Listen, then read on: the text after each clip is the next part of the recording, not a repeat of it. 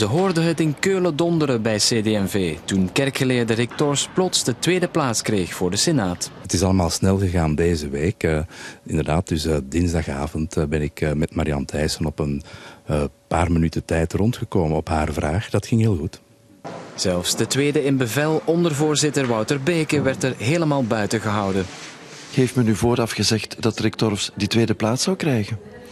Nee, dat is, ons, uh, dat is aan ons uh, vooraf niet gevraagd uh, geworden. Dat is een beslissing die de partijvoorzitter in eer en geweten heeft genomen. U heeft het op televisie gemerkt?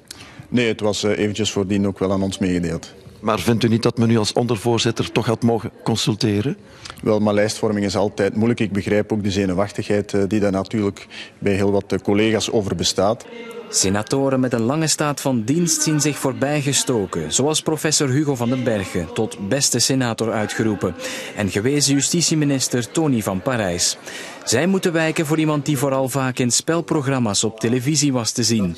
De verrassing was algemeen bij de senatoren, al durven de meesten niet voor de camera reageren. Dat is natuurlijk een verrassing. Uh, wij waren er niet van op de hoogte. Hij komt op plaats 2 te staan. Dat brengt natuurlijk wat zenuwachtigheid en ongerustheid teweeg bij de andere kandidaten. Uh, nu, we moeten dat eigenlijk positief, in positieve energie omzetten, denk ik. En we moeten ervoor gaan voor een extra zetel. Minister van Staat Mark Eiske stond begrip voor de vrevel. Dat is ook begrijpelijk. Voor mensen die al jaren in de Senaat zetelen en daar dagelijks hun werk doen... en natuurlijk wat minder op de televisie komen dan Rick Torfs... die zien plots iemand uit de hemel nederdalen. Een beetje als iemand die komt van een andere planeet...